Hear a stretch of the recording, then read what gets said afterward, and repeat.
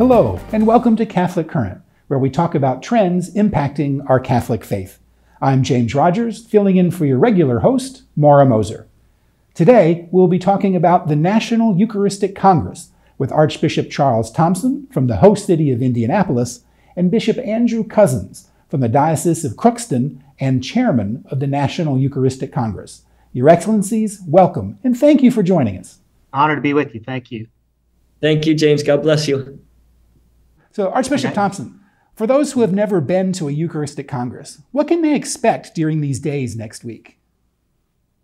Well, up front, I need to let you know this is the first uh, National Eucharistic Congress in the United States in 83 years, so I haven't been to one either. So, but with that said, um, I think they people should expect some great uh, expression and celebration of faith. Um, focus on Jesus Christ, of course, in the Eucharist, the body, blood, soul, and divinity of Christ, and the Eucharist, and what that means for us as Catholics, as the source of our identity and our mission, carrying forth the good news and transforming the world uh, according to the kingdom of God. And so there'll be a lot of a lot to celebrate. There'll be several liturgies, types of masses, Eucharistic procession, Eucharistic adoration. There's uh, all sorts of vendors here to kind of books and uh, religious goods and uh, to, to review and uh, purchase. I'm sure there'll be all kinds of speakers, some of the best speakers in our country. Um, there'll be some international people coming in to join us as well. Um, Cardinal Pierre, the Apostolic Nuncio, will be here. I think over 200 bishops, over 1,200 priests, about 650 seminarians, about 1,200 religious or more, um, and then close to 50,000 people, laity, people from all over the country, young and old. So just just a, a, a great um, a great uh, melting pot of, of, of the Catholic Church here in the United States, and all four sorts of ways to reflect and pray and celebrate uh, our faith in, in the Eucharist, our belief in the Eucharist as, as the real presence of Jesus Christ. As you've mentioned, tens of thousands of people are making their way uh, to Indianapolis. I know I'll be packing tomorrow to make the trip. Uh, that, that's a big responsibility for you and the people of Indianapolis, certainly not a relaxing uh, summer for you. Why was it so important uh, for you to host uh, this critical event in the life of the church? Well, we were honored to be chosen. Um, uh, we didn't go looking for it. So I mean, I don't want to I don't want to mislead anyone. Uh, but we are the you know I think lots of dioceses could have done this, lots of cities could have done this. So I'm not saying in any way that we we don't here look at ourselves as being able to do something better than anyone else. Although we've had a lot of experience here lately in the last few years, even before I especially before I arrived uh, seven years ago, uh, of uh, hosting national events, especially in the church. We've had the USCCB conference here. We've had Canon Law Society America conference. We've had the National Catholic Youth Conference here for several years uh, since 2011. Uh, so we we we do well. We do conferences well, but we are the crossroads of America, so to speak. So and I think of the crossroads, I think of the cross, you know. And so I think I think I think they say about about 70% of the U.S. population can travel to it can drive to Indianapolis within an, within 24 hours. So we're accessible. Uh, it's a nice downtown. Everything is is very well connected. Um, and Indiana is just it's a great place. It's a long history of, faith here. Um, you know, our the the church goes back to 1834 was the first diocese in, in, in Indiana, the diocese of Vincennes, which later transferred to the Archdiocese of Indianapolis. Uh, and before that, we were part of the Diocese of Bardstown in Kentucky from 1808. So long, long history of Catholicism uh, here in, in Indiana uh, at the, cro- at the crossroads of the United States. Such a wonderful faith tradition to share with, with the rest of the church as, as we join you next week. Um, Bishop Cozzens, you had mentioned um, you, are getting ready to travel. There are tens of thousands of people getting ready to do that very same thing uh, across the United States. And I must say, there seems to be uh, a different type uh, of energy. Uh, mm. You know, I, I, of course, at the office I have been working on, on the revival in the Congress, and it's a rare moment where it is also being lived in my parish. And so just seeing how this is kind of reaching across the church, um, I have a feeling uh, that you knew that was going to happen, that you knew this was the right moment uh, for the Spirit to have this moment. Uh, what gave you the confidence to put something uh, so ambitious together as the Congress? Well, I think it was definitely the Holy Spirit. You know, we began with what really listening sessions with evangelistic leaders across the country and parish personnel and diocesan personnel way back in 2021. And one of the things that came about from those listening sessions was the United States needed a moment of unity as a church. Um, and we really needed a, uh, if we were going to form a movement across the country, a Eucharistic revival, then that movement needed a moment, you know, and we would all come together and celebrate the gift of that. And that really resonated with me. And they, you know, the suggestion really from from the people who we were listening to from all different levels of the church was really something a little bit more like World Youth Day, you know, something like where we would come together as a as a body in the church and just celebrate the gift of the Eucharist and really celebrate our Catholic faith in our country. And that really resonated with the leaders of the Eucharistic uh, revival. We had this executive team that was meeting in summer of 2021. And so we put it together. We knew it was a big thing, but somebody told me actually, you know, Bishop, if you carry the flag up the hill, I think all the bishops will follow. And that's what I decided to do in November of 2021. And I knew it was the Holy Spirit, though, because uh, when I saw the ultimate vote, which, if I remember correct, something like 205 to 12 in favor of a National Eucharistic Congress, which, as you mentioned, is a big deal, right? And just to see that level of unity amongst the bishops was really encouraging for me. And I just, I, I've sensed the Holy Spirit at every moment in this and even more than I expected, exactly what you're saying, like even more than I expected right now, I, I sense the Holy Spirit has been preparing the country for this moment, uh, which I really do hope will be a great moment of renewal and joy for the Church the United States. Absolutely. Um, what can we expect? What are these days together going to be like? Yeah, well, it's a unique event. You know, um, it's really centered around the Eucharist. So it's centered around celebrating the gift of the Eucharist. But this Congress is really focused on mission as well. And so the days are going to be long and full. You know, we'll begin Wednesday evening with a revival session. We're calling every evening everyone in the stadium for these revival sessions. And these will be combinations of inspiration, prayer, uh, time, you know, for adoration, but also um, just time for celebration of the gift of the Eucharist. And so we'll begin Wednesday night really with the kind of culmination of those four pilgrimages, the pilgrims coming together in the stadium and then bringing the Blessed Sacrament in just for some moments of gratitude to our Lord. And then we'll launch into our program, which will be, you know, the nuncios there the opening night. We'll have uh, another incredible speaker from the Sisters of Life. So, and then the mornings will be what we're calling impact sessions based on kind of age group and uh, language groups, so Spanish impact sessions, an adult one, a youth one, um, and those will be really aimed at impact. You know, helping you know helping the those particular groups to take a step forward in their faith. And in the afternoons are workshops of every kind. We have it's amazing the diversity and the uh, experience and the excellence of the speakers who've come together for this event. Uh, it's it's really a beautiful thing. And so afternoon workshops, but also the festival, right? The the the huge area of booths that everyone can visit and the music that's going to be happening and dramas that will be happening and um, just the experience of being together and all of that. And then coming back together again for a, a revival session in the evenings.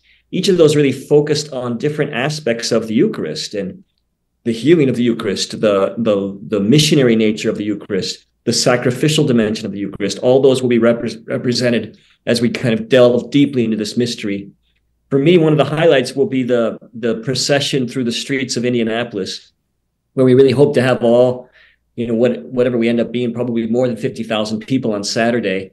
We expect to have that there as part of this procession and all the bishops and all the priests and I mean, there's going to be more than a thousand priests there. There's going to be, you know, a couple hundred bishops there. This is this is a, a gathering of the whole church. And then also like, you know, the Vietnamese Eucharistic youth and um, Latino Catholic dancers and um, the various orders of the church, the Knights of Columbus, and and then all of laity and the religious, all of us processing together in a moment really of bringing Jesus to the to our country and, and really praying for our country and praying that that light which is shining on us in Indianapolis might spread through us to the people of this country such a beautiful way to emerge as a country and a church out of the darkness and, and isolation of the pandemic. So thank you for everything uh, you've been doing. Archbishop, I also you're also uh, chairman of the Bishops Committee for Evangelization and Catechesis, and, and my understanding is that this uh, Euchar- this gathering, this Congress, uh, is really the beginning of an ongoing Eucharistic revival in the United States. Could you give us a little sense of uh, what comes next and, and, your hopes for the future?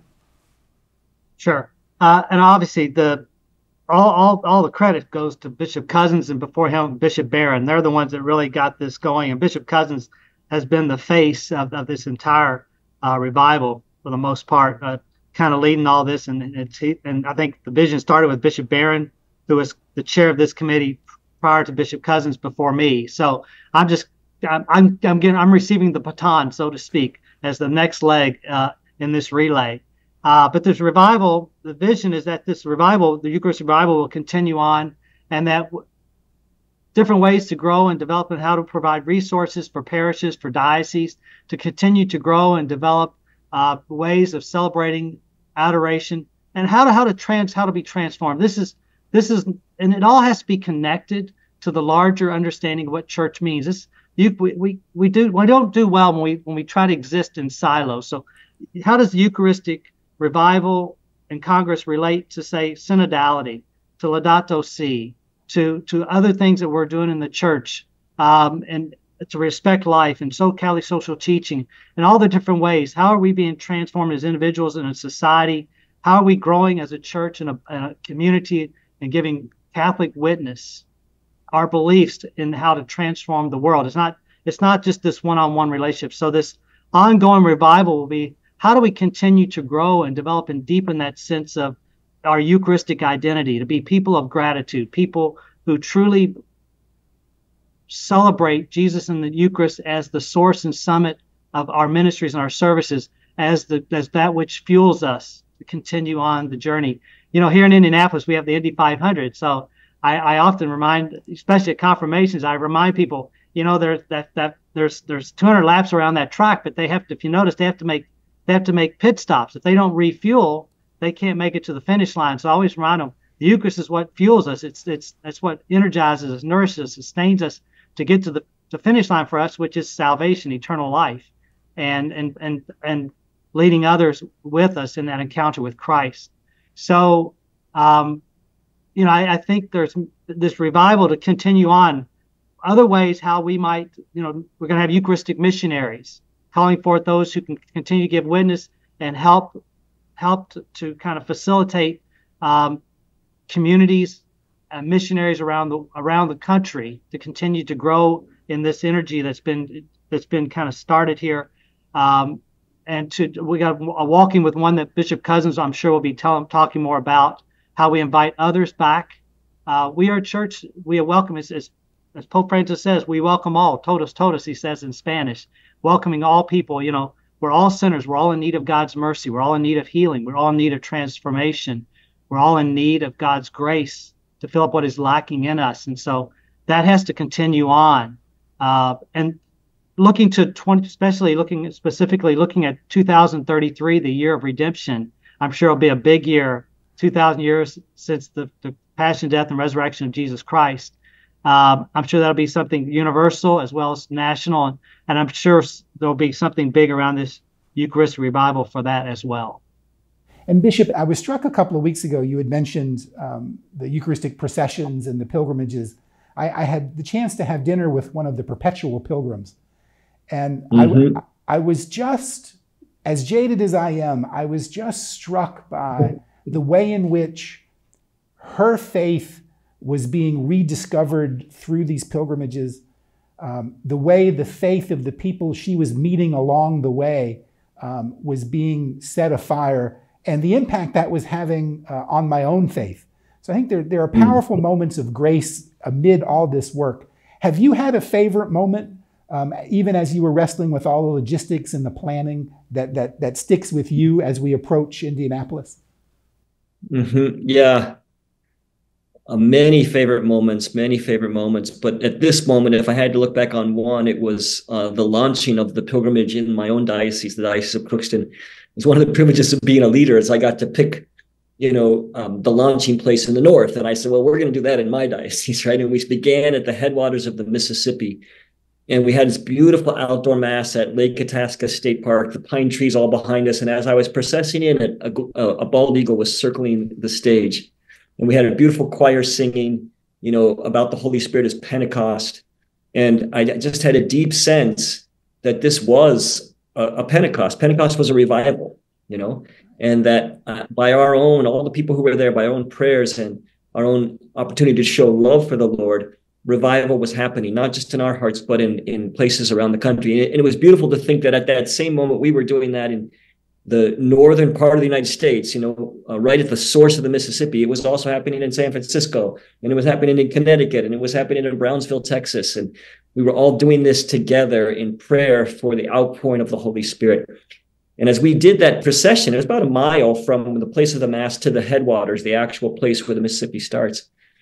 You know, many people were in tears, just so moved by the sweetness of the Holy Spirit and the gift of the Lord to us. And the Lord's desire to love us and to love our country. So for me, I'd say right now that stands out as a favorite moment. But I, I totally agree with you, which is the grassroots impact of this, right? Those little stories of people who heard stories is we're not going to know that for a generation uh, to come.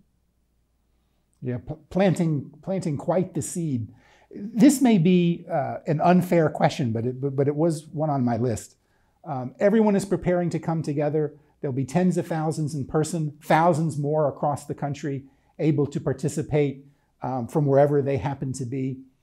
Um, and you mentioned uh, the future. Uh, my understanding is this is the beginning. It's a, it's a year of mission. It's a part of a greater Eucharistic revival that's happening. Uh, what's next? What are your hopes um, a year from now, five years from now, in terms of what this has meant to the church? Yeah, I think that we have seen the birth of a movement in the church, and this happens in various generations, right? Movements that are needed for to strengthen the life of a church. And to my surprise and everyone's surprise, I think we've seen the birth of a movement, and it's beautiful that this is rooted in our tradition. We have a tradition of Eucharistic congresses that goes back, you know, more than 100 years. It goes back to the 1800s. And that tradition was so strong in our country for the first part of the 20th century, and it's still strong around the world. You know, uh, Italy does a National Congress every five years. Mexico does them regularly. You know, um, but so I do think the bishops have said to me they don't want this to be a one and done, and they would like to see us continue this tradition. And so, you know, I could imagine, and I we'll be talking about this more at the Congress. We'll be making an announcement about the future, but you could imagine that you know in the next decade there's going to be a, an 11th national eucharistic congress and that in between this corporation which is run by bishops and founded by the bishops um, could actually uh, serve eucharistic renewal in dioceses and in parishes you know both by animating the life of eucharistic missionaries. We have literally hundreds of thousands of people who've really entered into this movement and we have their emails in there and we know they want to be a part of something. And so they could continue to be eucharistic missionaries. And you could imagine diocesan and regional congresses. You know we had 3500 people at uh, bemidji state university for the opening of the north part of the eucharistic pilgrimage. And that was just from minnesota north dakota south dakota. And you could imagine us doing that you know throughout the next span of years around the country as we keep this movement going really as a sign of love, intercession, prayer, but also helping the church to continually deepen the uh, Eucharistic love, which is at the heart of the church. And just that desire that every Catholic would experience the love of the living Jesus in the Eucharist. So what exactly that looks like, we got to do a lot. We got to do some thinking after the Congress. I told the team, we, let's do one Congress, do it well, and then we'll we'll think about the future. Absolutely, Archbishop Bishop. Thank you again. For more information on the National Eucharistic Congress and the ongoing National Eucharistic Revival in the United States, please visit www.eucharisticrevival.org. And thank you to everyone for watching. May God bless you as we journey together in the presence of Christ.